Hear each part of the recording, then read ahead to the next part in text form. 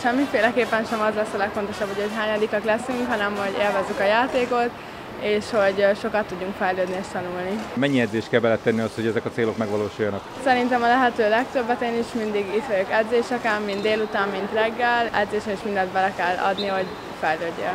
Én már nagyon várom, hogy elkezdődjön, szerintem nagyon jó év lesz, és nagyon jó, hogy feljutottunk a felnőtt csapatba, és ott is meg tudjuk mutatni magunkat.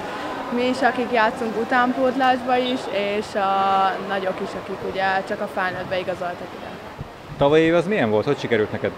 Nagyon-nagyon jól, vízilabdában talán az eddigi legjobb éven volt, és szeretnék még sok ilyen évet. Mitől volt jó a tavalyi év? A korosztályos Európa-bajnokságot nyertünk Szentesen, és ez koronázta meg így a nyár végét. Te suliba jársz mellette? Igen, a 9. osztályos vagyok. Kazinciba tudják, hogy te ilyen szinten játszol, és majd jönnek megnézni téged? Igen, tudják.